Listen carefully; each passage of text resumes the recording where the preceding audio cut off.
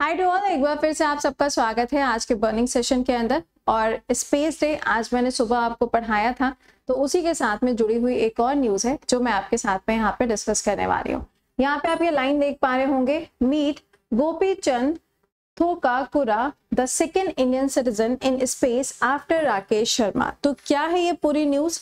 और क्या ये सच में दूसरे व्यक्ति बनने जा रहे हैं, जो स्पेस पे जा रहे हैं? इन सब चीज़ों के बारे में डिस्कस करेंगे, लेकिन उससे पहले एक बार इस सेशन को अपने दोस्तों तक भी पहुँचा दीजिएगा। ऑलराइट आइए, जरा बात करते हैं कि यहाँ पे ये आर्टिकल चल क्या रहा है। हम सभी लोग जानते हैं कि जब हम बात करते हैं किसके बारे में? इंटरनेशनल स्पेस डे के बारे में। तो इंटरनेशनल स्पेस डे जो है, ये कब होता है? तो ये होता है 12 अप्रैल को राइट लेकिन यहाँ पर जो हम ये बात करने जा रहे हैं, जो डिस्कशन करने जा रहे हैं, ये जुड़ा हुआ है ब्लू ओरिजिन नाम की कंपनी के साथ में। एक कंपनी है जिसका नाम है ब्लू ओरिजिन आप लोग अमेजोन से हर तीसरे, चौथे दिन कुछ ना कुछ ऑर्डर करते रहते होगे। तो ये जो जेब बेजोस है ना जेब बेजोस का नाम सभी लोगों ने सुना हुआ है। तो जो जेब बेजोस है, इनकी कंपनी है, जिसका नाम क्या है? ब्लू ओरिजिन इनकी कंपनी का नाम है।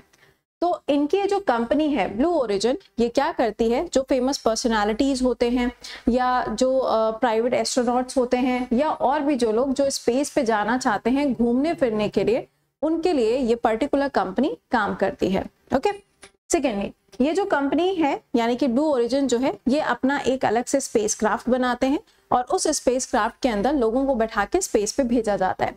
जब इनको स्पेस पे भेजा जाता है तो 11 मिनट की फ़्लाइट होती है मतलब आप स्पेस पे जाओगे और स्पेस से वापस आ जाओगे विद इन 11 मिनट तो इसकी स्पीड बहुत ज़्यादा होती होगी। जी हाँ तो इसकी जो स्पीड होती है, वो स्पीड साउंड की जो स्पीड है उससे थ्री टाइम्स होती है। Three times sound of the speed इसी स्पीड से जाएगा, उसी स्पीड से एक सर्कल मार के, एक चक्कर काट के क्या होगा? वापस आ जाता है। अब इस मिशन के लिए या फिर ये जो टूरिज़्म का एक नया पार्ट स्टार्ट हुआ है, इस पे अगर आप जाना चाहते हैं तो आपको कम से कम इसके लिए 28 डॉलर मिलियन पैसा जो है, वो खर्च करना पड़ेगा, जिसके बाद में आप भी इस फ़्लाइट पे जाके स्पेस की यात्रा करके वापस आ सकते हैं। ठीक है? ओके ये तो सारी बातें हो गई यहाँ पे, इसके बारे में ब्लू ओरिजिन कंपनी के बारे में। लेकिन जब हम स्पेस की बात करते हैं तो स्पेस के लिए आपने एक नाम सुना होगा, राकेश शर्मा जी का, जिनका नाम हम लोग बचपन से सुनते चले आ रहे हैं। तो राकेश शर्मा जी जो थे, वो अपनी कंट्री से अगर देखा जाए तो वो क्या थे? पहले ऐसे व्यक्ति थे जो कहाँ पे गए थे? स्पेस पे गए थे। लेकिन अब दूसरे ऐसे व्यक्ति आपको देखने को मिलेंगे, जो स्पेस पे जाने वाले हैं। इनका जो नाम है, इनका नाम आप यहाँ पे देख चुके हैं ऑलरेडी गोपी चंद जी हैं। आंध्र प्रदेश से बिलोंग करते हैं। अमेरिका के अंदर रह के ये अपनी एक प्राइवेट कंपनी चलाते हैं, जो कि एस्ट्रोनॉमिक के अंदर ही काम करती है, ठीक है? तो गोपी चंद जी होने जा रहे हैं दूसरे व्यक्ति जो स्पेस पे जाएँगे। तो स्पेस पे जाके क्या वहाँ रहने वाले हैं? नहीं नहीं नहीं, ग्यारह मिनट में घूम घाम के वापस आ जाएँगे। जिस स्पेस क्राफ्ट से ये लोग जाने वाले हैं तो उसका नाम यहाँ पे क्या है? एन एस ट्वेंटी फाइव उस स्पेस क्राफ्ट का नाम है और इनके साथ में और भी लोग होंगे। टोटल बताया गया है कि छह लोग हैं जो इस पर्टिकुलर मिशन पे भेजे जाएँगे। तो ये लोग घूमने के लिए जा रहे हैं, ठीक है? सेकेंड पॉइंट यहाँ पर अगर आप देखेंगे तो ये जो मिशन वगैरह है, मैं आपको बार बार बोल रही हूँ कि ये सेकेंड पर्सन होंगे जो भारत की तरफ़ से या इंडियन होंगे। तो आप कहेंगे, मैम, कल्पना चावला, सुनीता विलियम्स? इन सब का क्या?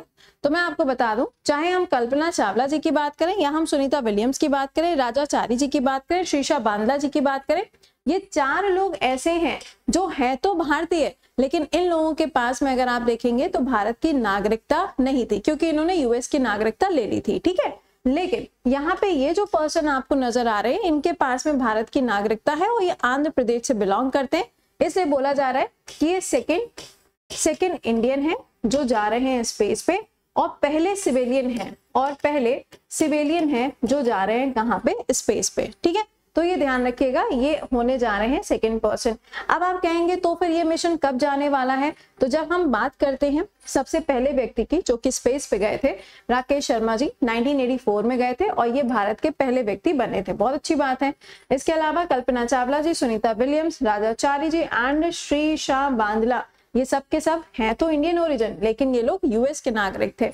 इसलिए यहाँ पे इनको सेकंड कंसिडर किया जा रहा है। कहाँ से बिलोंग करते हैं? विजयवाड़ा से बिलोंग करते हैं। प्रेजेंट टाइम में ये कहाँ पर है? यूएस के अंदर ये अपनी एक कंपनी चला रहे हैं। अब पॉइंट यहाँ पे ये आया कि मिशन भेजा कब जाएगा? तो बताया जा रहा है कि अप्रैल के मिड में इस मिशन को भेजा जाएगा। ये जो पूरा इन्होंने शिप या आप कह सकते हैं कि एक जो कैप्सूल तैयार किया गया उसका फुल फॉर्म है न्यू शेपर्ड मिशन क्या नाम है? न्यू शेपर्ड मिशन तो क्या इससे पहले भी कभी ऐसा हुआ है? हाँ हाँ। कई बार ऐसा हो चुका है, बहुत सारे लोग जाके घूम के वापस आ चुके हैं। लेकिन अगर हम 2022 की बात करें, जब इसकी सबसे पहली लॉन्च की गई थी, उस टाइम पे ये फेल हो गया था और इसके अंदर कोई भी व्यक्ति नहीं था। कोई पर्सन इसके अंदर नहीं था तब ये फेल हो गया था। लेकिन अभी की अगर हम बात करें तो अभी ये बिल्कुल स्मूथली चल रहा है।